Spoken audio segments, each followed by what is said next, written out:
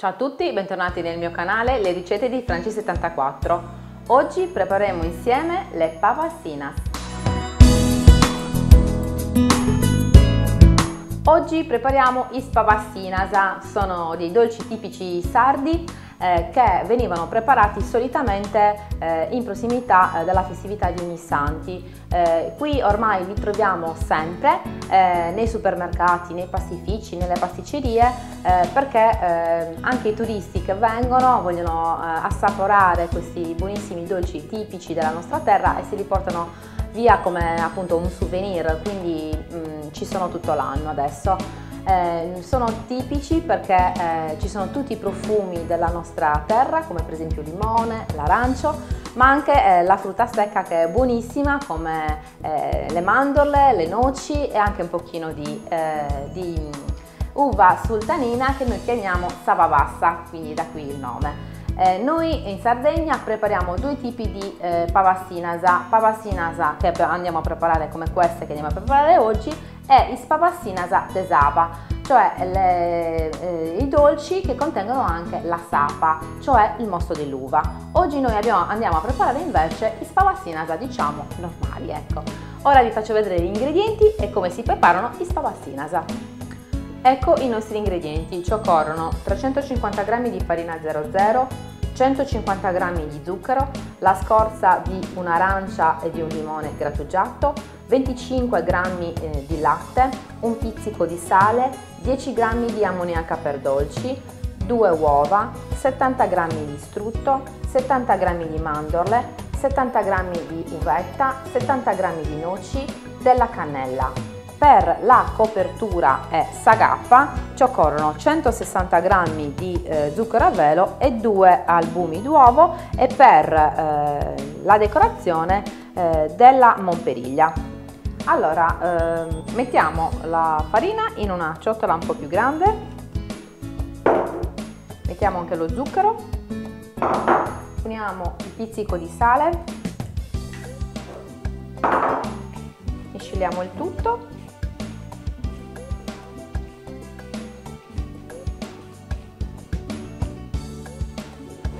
Ok, adesso eh, grattugiamo l'arancia direttamente nel nostro contenitore. L'arancia, mi raccomando, io lo dico sempre, la laviamo e l'asciughiamo. Se possibile, magari eh, scegliamo un'arancia biologica.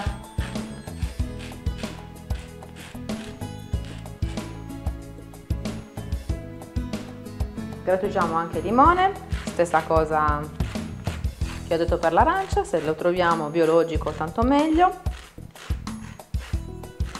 Se invece lo compriamo al supermercato stiamo attenti perché in commercio eh, ci sono degli agrumi che hanno eh, la buccia non edibile. Quindi scegliamo, ovviamente stiamo attenti a scegliere quella con la buccia edibile. Aggiungiamo anche un po' di cannella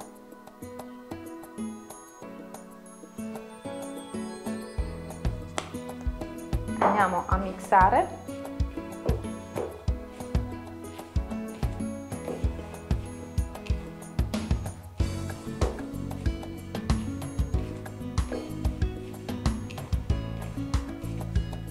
Allora, prima eh, di iniziare la preparazione io eh, ho sciolto eh, il, lo strutto eh, con il latte, quindi ce l'ho in questo pentolino. A tempo debito poi aggiungerò anche eh, l'ammoniaca eh, creerò appunto, che si creerà una sorta di reazione qui, chimica, eh, quindi una specie di schiuma e lo unirò poi al composto.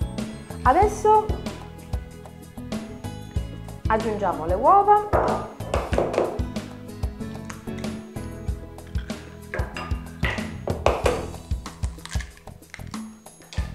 andiamo ad amalgamare il tutto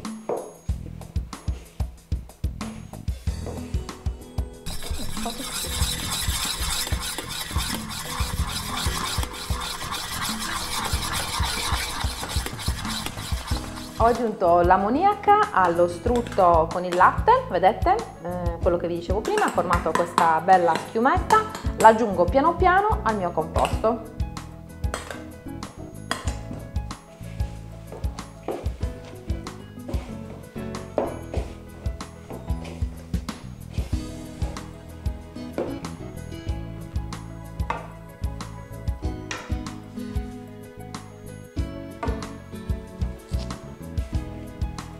Dunque non preoccupatevi perché l'ammoniaca mm, per dolci sviluppa un odore piuttosto forte, però eh, in cottura evaporerà, quindi non preoccupatevi, ecco. Ho trasferito l'impasto sul piano da lavoro, eh, ho messo un po' di farina così non si appiccica perché adesso in questo momento è un po' appiccicoso l'impasto. E lo andiamo a ehm, lavorare per circa 5-10 minuti al massimo.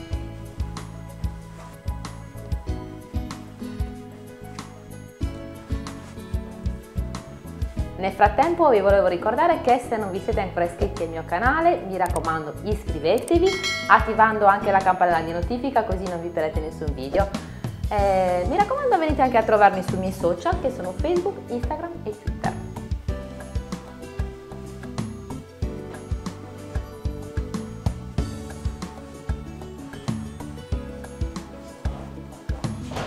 Allora, ecco qua come eh, risulta il nostro impasto eh, bello liscio, lo mettiamo un attimino da parte, lo copriamo con un panno e eh, noi nel frattempo andiamo a tritare grossolanamente con il coltello eh, la frutta secca.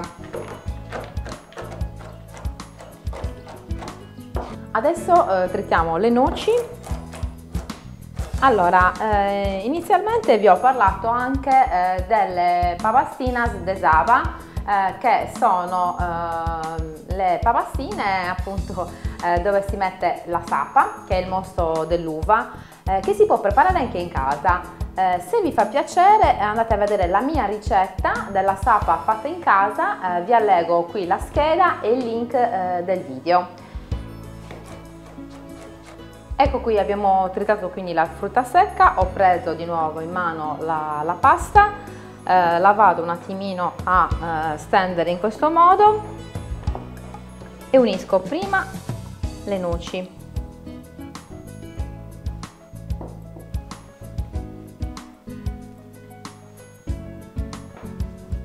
Vado a chiudere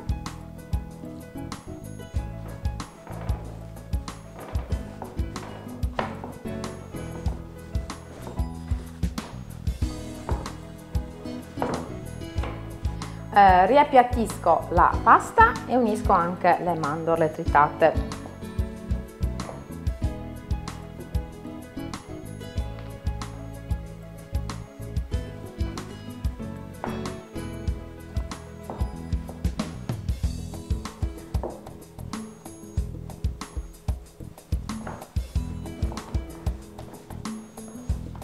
Allora, una volta che ho amalgamato per bene incorporato tutta, tutta la frutta secca. Adesso riapro l'impasto e mettiamo piano piano anche eh, la, eh, l'uvetta sava bassa come si dice in sardo. Ovviamente io prima l'ho fatta ammorbidire nell'acqua eh, circa due ore. Quindi l'ho mm, parzialmente strizzata l'ho posizionata in questa ciotolina prima di metterla la strizzo ancora un altro pochino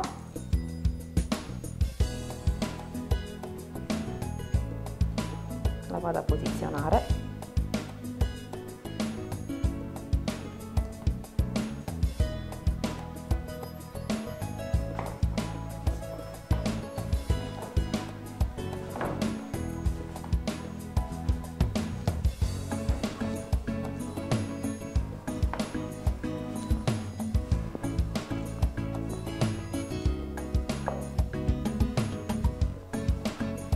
l'impasto è molto appiccicoso mettiamo un po' di farina sul piano da lavoro.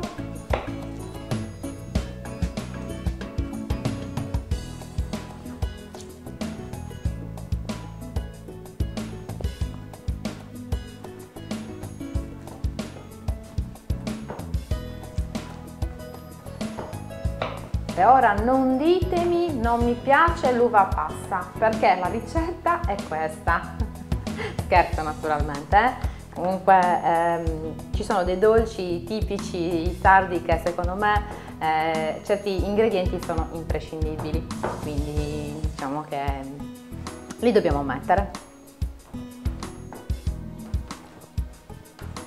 Ok, il nostro impasto è pronto.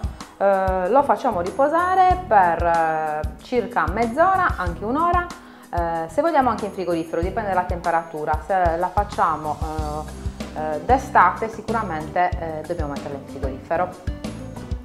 Trascorso il tempo di riposo ho messo il, mio impasto direttamente sul piano da lavoro che ho ben infarinato, adesso pian piano lo appiattiremo. Voglio fare la forma di un, di un rettangolo perché poi eh, andrò a tagliare miei, eh, le mie pavassinas a rombi con i classici rombi. Poi se eh, abbiamo in casa una formina ancora meglio. Facciamo direttamente con la formina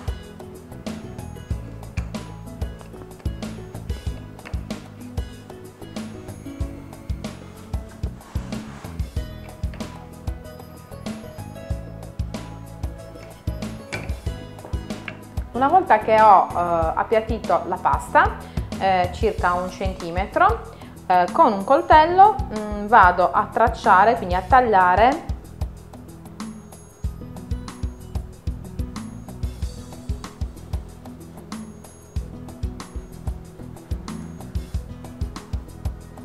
e poi formerò i rombi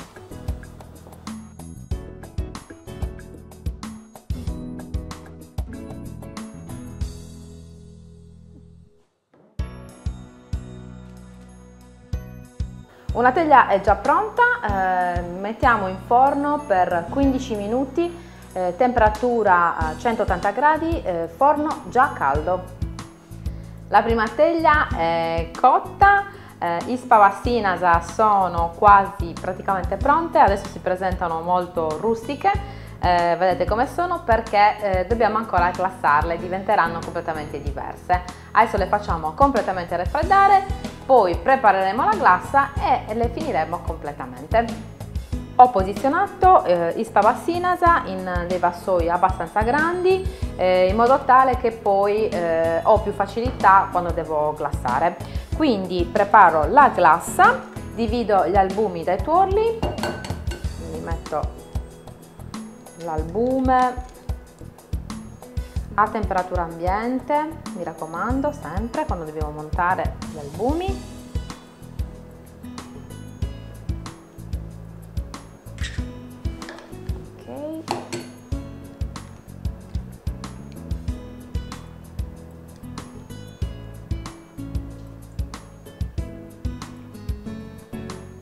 Attenzione poi a non contaminare eh, l'albume perché sennò non monterà mai cioè il tuorlo eh, deve essere, cioè l'albume deve essere completamente pulito dal tuorlo, cioè non ci deve essere traccia di tuorlo.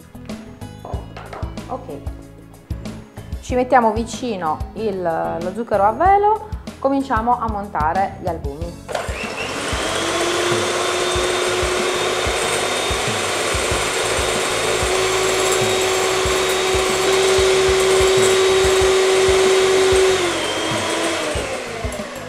Adesso iniziamo ad aggiungere anche lo zucchero a velo.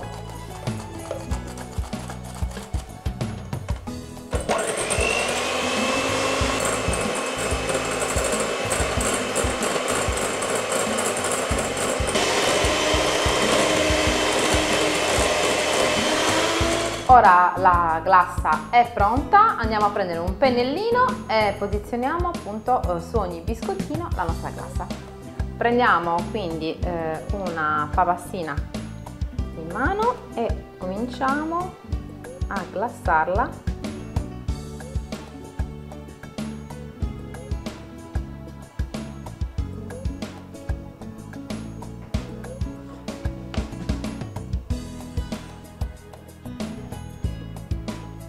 Una parte di pavassina eh, è già glassata.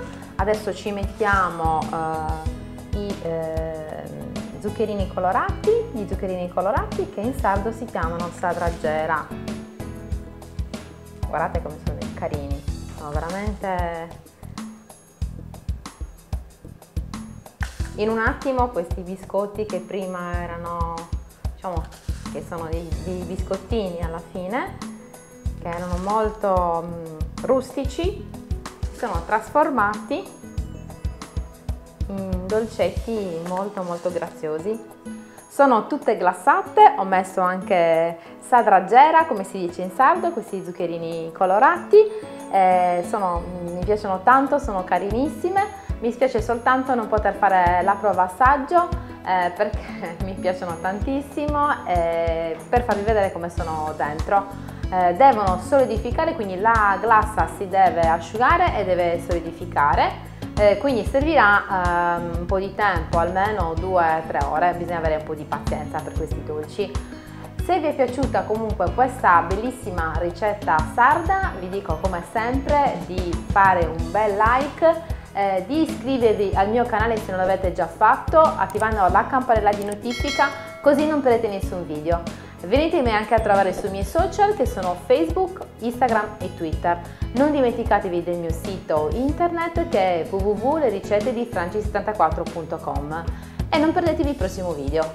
Ciao!